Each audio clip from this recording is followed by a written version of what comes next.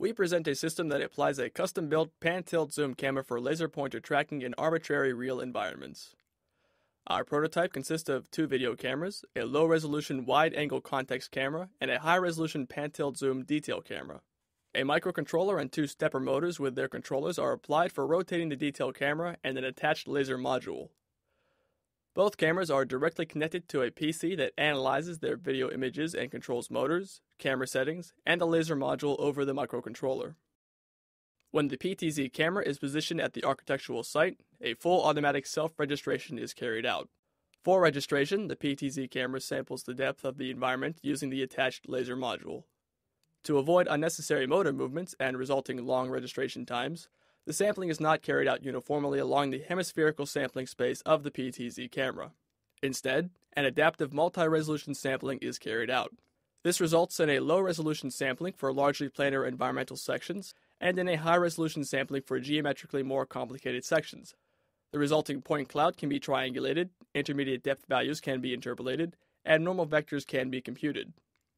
Since the sampled points are measured in device coordinates, the rigid transformation matrix can be estimated numerically by finding the best geometric match between the point cloud and the measured reference model stored in the database. Besides sampling geometry, other surface parameters can be captured during this process.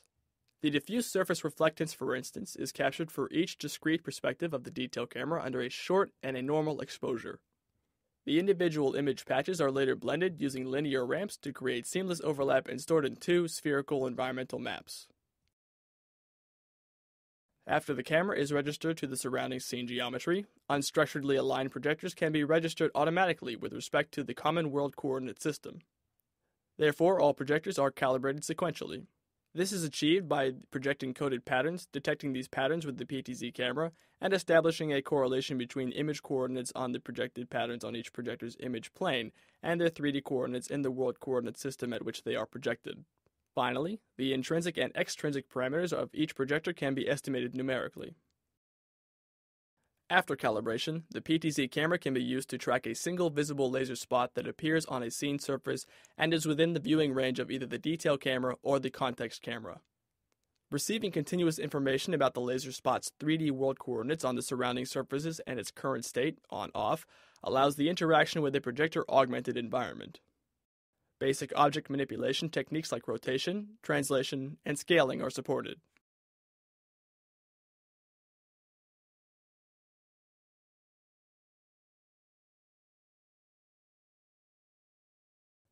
Simple spatial and time encoded gestures are currently used to trigger events such as changing the interaction mode. Another example applies a laser pointer to interact with an architectural on-site planning tool for color simulation. Thereby, a picking event is triggered by holding the laser spot still within a particular region for 2 seconds.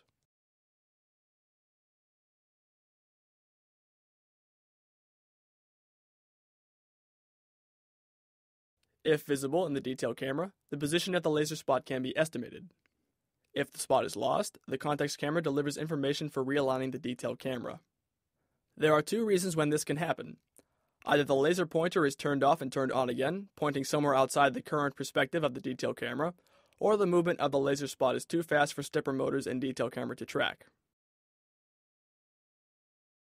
While a projector-based augmentation is best suited for the visualization information directly on the surfaces, such as lighting, color, and material simulations or geometric structures with small depth variations, video see-through augmentation supports visualization of free-floating 3D structures from the controllable perspective of the PTZ camera.